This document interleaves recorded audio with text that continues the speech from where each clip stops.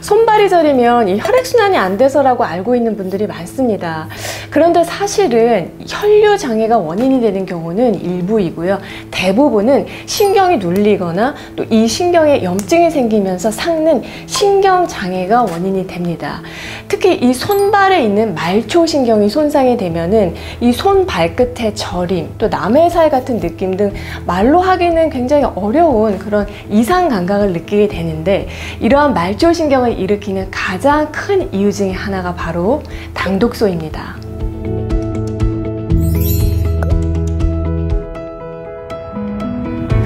안녕하세요. 정세현 의사 라이프 레시피 정나래입니다. 지난 시간에 당독소, 즉 AGE라고 하는 최종 당화산물이 많은 음식을 먹으면 이 뇌신경에 독성을 일으켜서 치매 위험성을 증가시킨다고 말씀드렸습니다. 그런데 안타깝게도 이 뇌신경뿐만 아니라 이 손발의 말초신경 단백질도 당화되어서 변성이 되면은 염증성 반응이 일어나서 병들게 돼요. 그리고 그 결과 이 손발이 저리고 이상감각 같은 증상이 나타나게 됩니다. 혈당이 높은 사람, 또 콩팥 기능이 떨어진 사람, 지방이 많은 사람, 또 나이가 많으면 많을수록 인체 내부에서 만들어지는 내인성 당독소도 쉽게 어, 생성되고 쌓이기 때문에 우리가 음식을 통해서 섭취하는, 즉 외부로부터 들어오는 외인성 당독소 섭취가 특히 과잉되지 않게 조절하는 것이 중요합니다. 동시에 체내에서 당독소 생성을 억제하고 또 이 신경을 보호하는 음식을 자주 챙겨 먹는 것도 손발 저림과 치매를 다스리고 예방하는 데 도움이 됩니다. 자, 첫 번째로 우리가 매일 먹는 생선, 콩, 과일, 채소, 통곡물 섭취를 늘리고요. 육류, 마가린 버터, 고지방 식품, 또 가공식품 섭취는 줄여주세요. 육류보다는 이 생선의 당독소 함량이 낮고요. 육류 중에서는 양고기가 뭐 소고기, 닭고기, 돼지고기보다는 당독소 함량이 낮습니다. 육류나 지방에 비해서는 탄수화물이 당독소가 낮은 편인데 그 자체에 항산화 성분과 또 비타민이 함유되어 있어서 조리 시에 이 당독소 생성을 억제하기 때문으로 보고 있어요. 그렇지만 탄수화물을 가공한 정제 탄수화물은 또 그 자체로 혈당을 올릴 수가 있잖아요. 그래서 이 역시도 주의가 필요합니다. 자, 두 번째로 육류를 섭취한다면은 수육, 보쌈, 샤브샤브 이 세 가지를 가장 추천드립니다. 같은 고기라도 조리 방법에 따라서 당독소 함량을 대량 낮출 수가 있는데요. 뭐 소고기나 닭고기를 찌거나 삶아서 조리하면은 불판에서 구울 때보다 이 당독소 함량이 두 배에서 많게는 여섯 배까지 떨어지게 됩니다. 차이가 굉장히 크죠.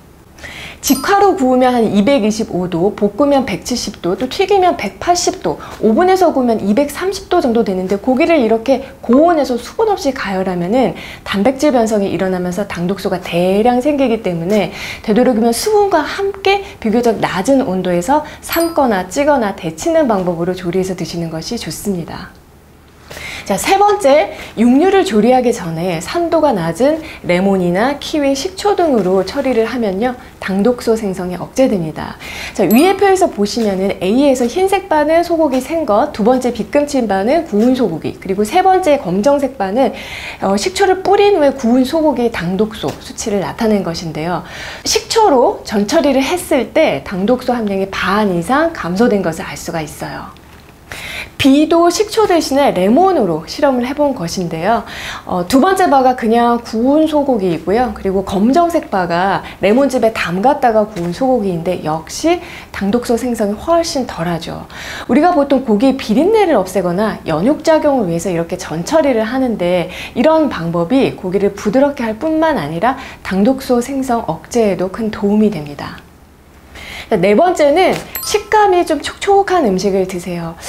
어, 여러분 요즘 집에 그 에어프라이기 있는 분들 많으시죠? 기름 없이도 튀김과 같은 식감으로 요리를 할 수 있어서 건강에 무조건 좋다고 어, 생각하시는 분들 많으실 수 있는데요. 사실 에어프라이기는 이 헤어드라이기에서 나오는 것 같은 그런 고온의 열풍으로 음식 속의 수분을 겉에서부터 바짝 말리는 어, 원리이기 때문에 그래서 튀김처럼 바삭한 식감을 낼 수가 있는 거거든요. 삼겹살이나 닭고기도 에어프라이기로 기름 없이 튀기더라도 당독소 함량은 상승하게 됩니다.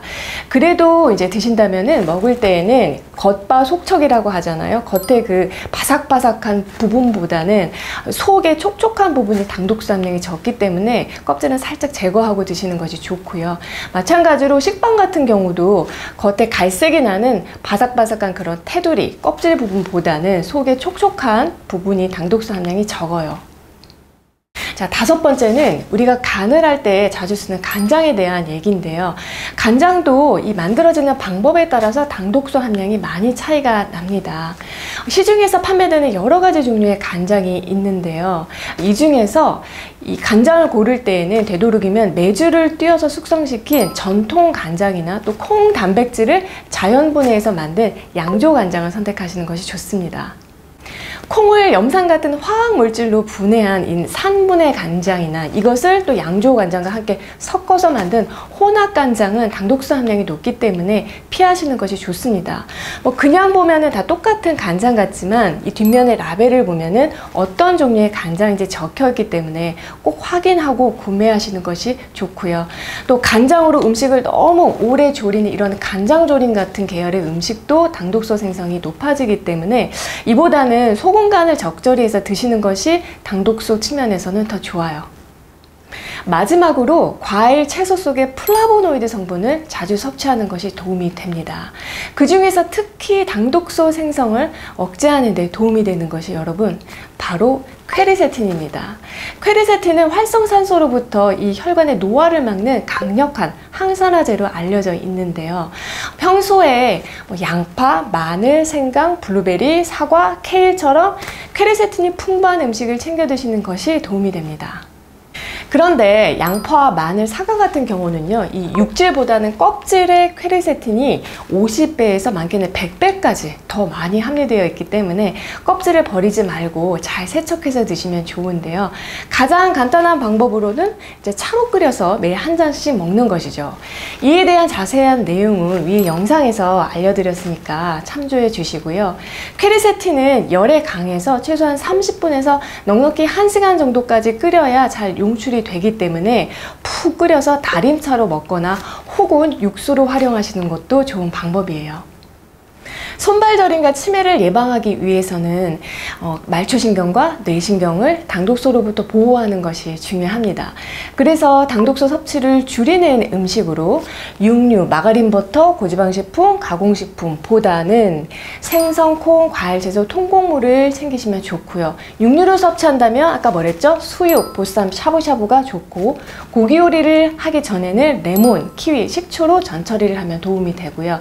또 고온으로 요리 요리를 해서 바삭한 식감보다는 수분이 촉촉한 음식이 좋고 간장은 전통 간장이나 양조 간장을 선택하시는 것이 좋고 평소에 퀘르세틴이 풍부한 음식을 자주 드시면 많은 도움이 됩니다. 여러분 오늘 내용이 도움이 되셨나요? 어, 올해도 정나래와 함께 건강한 식습관 많이 만들어 가셨으면 하고요. 저는 다음에 또 좋은 내용으로 찾아뵐게요.